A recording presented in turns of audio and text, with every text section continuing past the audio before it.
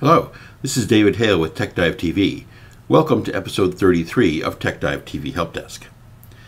In today's episode, we're talking about a scam. Now, it's not a new scam, but it's something that has grown quite a bit in recent days.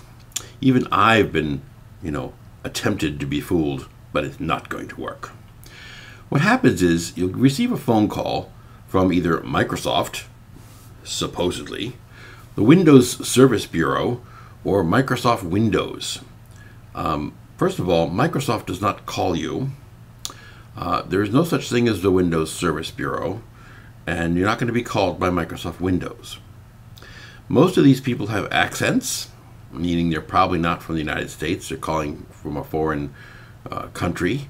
Uh, also, they spoof the phone number so you can't call it back. Uh, what they're trying to do is tell you that your computer is downloading uh, bad software or malware or viruses or um, corrupt software um, from your internet connection. Now, first of all, they have no idea what your computer is doing.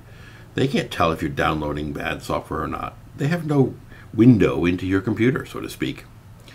What they're trying to do is get you to pay a fee, usually around $150, for them to come in, take control of your computer, and clear out this corrupt software. What they're actually doing is planting corrupt software, making it look like they're fixing your computer, and your computer's fine after they're done because they really haven't done anything. Then, because they have access to your computer, they can gain access anytime they want to. That's the way they set it up. Then they activate the malware that they put on your computer later on and call you back and say, oh, we've detected more malware. Would you like us to fix it? Oh, of course, fix it. Well, they'll charge you another $150. It's a scam. Don't believe it. People don't call you to tell you you're downloading bad things. They don't know what you're doing. Um, I had a call of this nature a few days ago, and I asked them which of my 17 computers has bad software.